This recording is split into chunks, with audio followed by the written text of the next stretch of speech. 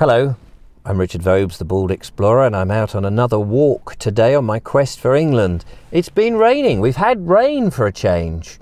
So I thought I'd go on a little rainy walk, although it's actually now stopped, uh, the rain. So I'm going to get out of my car and I've parked up uh, just at the uh, south end of Findon. Let's get out. And behind me here we've got the, the Black Horse pub. Just lock the car, of course.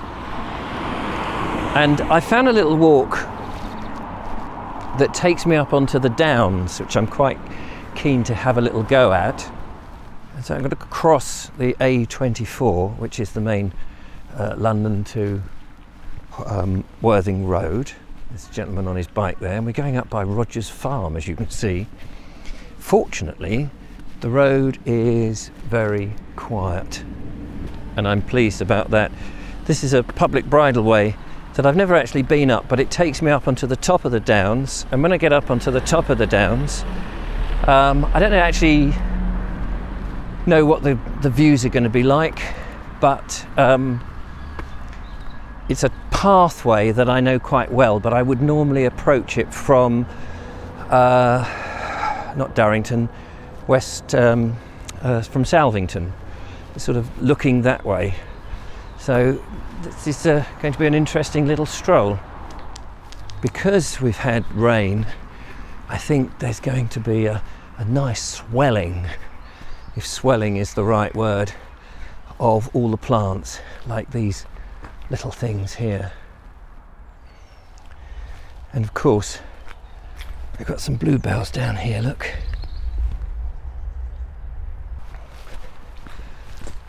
Now, this lane should take me up onto a more narrower path. But just before we do, let's have a look at farmers have been ploughing their fields.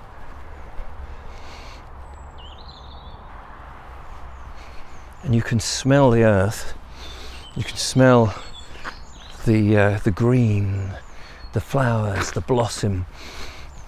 In with the um, in with the rain. Absolutely love it. And one shouldn't be frightened about going out in the rain or when it's wet. Obviously, prepare yourself with all the, the different wet water gear that you can buy. Um, we've barely got anything, which is good for me because water goes on the lens, and I'm not very keen on that. So I'm going to carry on up here and we'll see how far we get.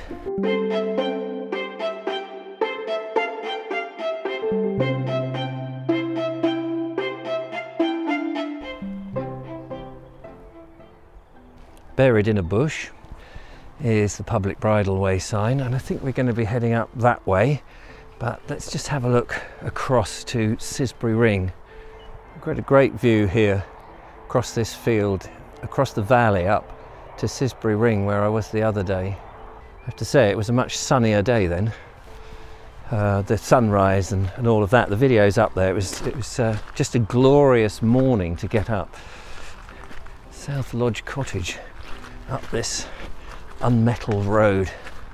So this will take us into the uh, into the more countrified part of these lanes, going past all this lovely cow parsley, which I can smell very much. Some people are very, very lucky. There's a couple of houses just back here that right on the edge of this downland rise and they're so lucky to live here. They can just get out and stroll up these old pathways without having to get in the car. How beautiful is that and lucky. It is a tad slippery on the uh, on the chalk after the rain. I just got to be careful I don't fall over. I've got a, a small portable camera in my pocket so I can take little stills every now and again and put them in as appropriate in the edit. If you look above me, the canopy is completely covering me. If I stroll on a bit, you'll see how absolutely delightful it is. Come through all this greenery, wet and glistening with the amazing chirping of the birds around us. And on this side, views down into the valley that goes south towards Worthing. And on here, just because I'm a nosy person, somebody's property, presumably, because it's this wall in front of me, and then beyond, just the vague hint of bluebells.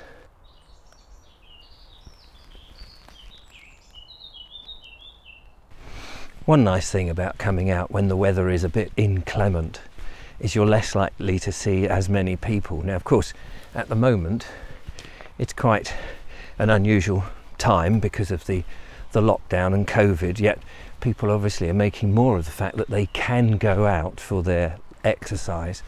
And actually, it's quite surprisingly how many people you do see.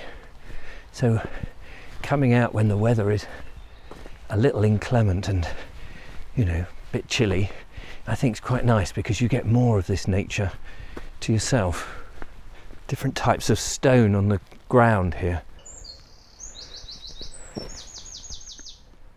Quite dark black stone, I don't know what that is. This is so, so invigorating and so important. And then, and then you get someone who ruins it all. Look at this. Man made folly left up there.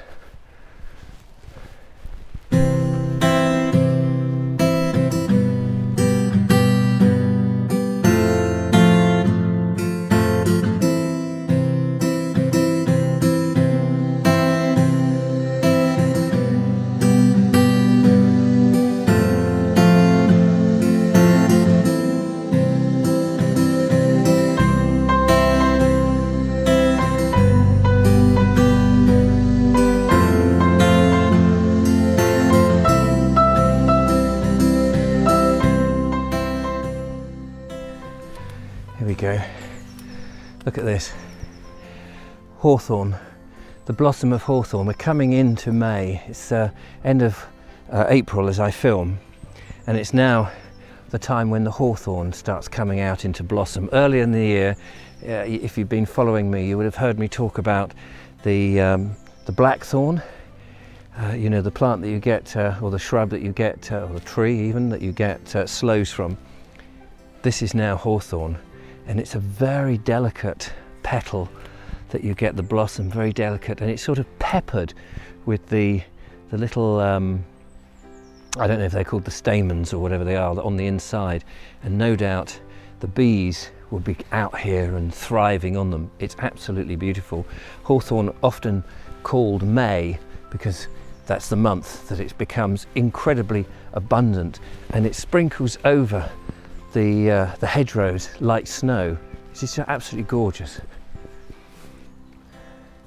Another thing that we're starting to see is the elder trees coming into blossom as well. And soon, of course, it'll make elderberries, which you can make various cordials or wine from, of course.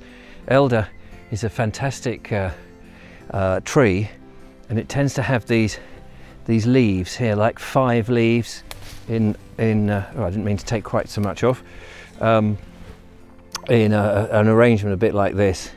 Sometimes it's quite tricky to, uh, um, in the winter, know that it's elder, although it seems to me that the bark is quite distinctive on, on the way that the trunk runs. If you look at this sort of weird um, arrangement of lots of branches stemming all over the place. And like hawthorn, uh, which is next to that one, uh, they very much are a hedgerow plant. And then again, they become festooned in this wonderful white, which is, which is again very beautiful.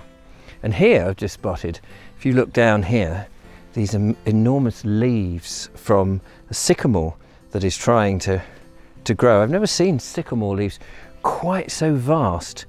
They are massive leaves. I don't know how well you can see that, but here there's a fence actually. I can't go in, but there's a, a whole load of bluebells up here. I've just found a way in that's not restricted by the looks of things and you you can see well-worn paths here through more of the bluebells which are beginning to look slightly sorry for themselves don't want to crush them but you can see where people have been walking and and taking it all in. And on a bright sunny day of course this would be so much nicer just walking where other people have obviously come to try and see the bluebells, but not just the bluebells here. I think we've got campion as well in amongst all this, and some rather amazing trees all the way through here. It's just gorgeous.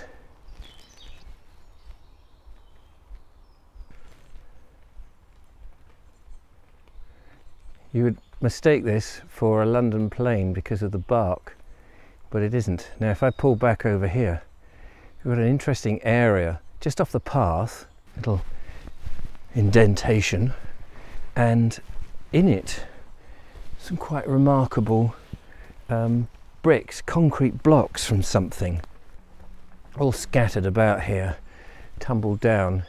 Evidence of something concrete I don't know whether this is a, a military post, an observation post that was once here. Um, there were pillboxes around, so it could have been up here.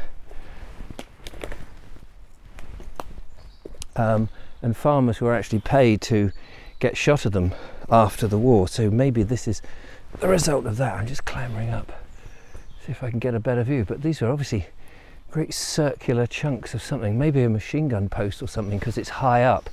So you could fire at um, planes as they went over during the war. I don't know. A few bricks and, and things. But looking back into the woods, which as long as none of this gives way, get back to it. Terrific view of the bluebells.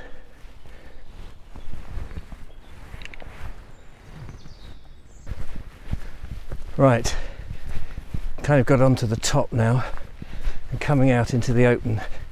And it is beginning to rain a bit more. My walk really was just up this through this woodland walk. And um, it's a little bit exposed here. Let's have a look what we can see if anything we've got a farm here some fields and trees we've got a valley down on the other side looking westwards in the mist and we join the path that I said I would normally approach from Salvington, very close to Salvington Mill. I'll have to do a walk up there actually. Sorry about the rain on the lens. Uh, we've got this fine spray here now. And actually, crossing this path, which goes north south, here we look down on Long Furlong, which goes round that spit of land, and in the distance you just make out the traffic there. Well, I'm getting rained on here, so I'm not going to hang about. I'm going to go back down that route back to the car. Thank you so much for watching. Don't forget to follow, like, subscribe, become a patron, support what I do. That would be absolutely fantastic. Slightly getting wet. Should have put my wet weather gear on and my hat. And behind me now, a tractor to watch as we finish the episode. Take care and bye bye for now. Bye bye.